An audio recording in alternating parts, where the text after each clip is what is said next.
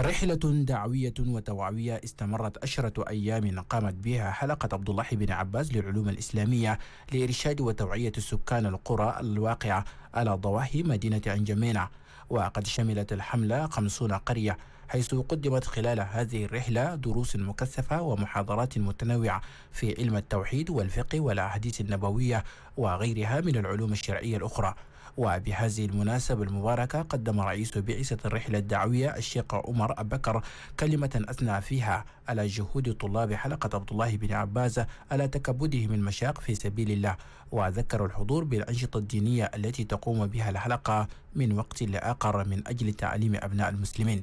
المرشد العام لحلقة عبد الله بن عباس للعلوم الإسلامية فضيلة الشيخ صالح محمد رمضان أوضح أن الهدف من الحملة الدعوية والتوعوية هو تزويد الأمة الإسلامية بكل ما يصلح للإنسان في الدنيا والآخرة. وما رهدوا لعشرة أيام إلا أن يتدربوا في قيام الليل وأن يتدربوا في الوعظ والإرشاد.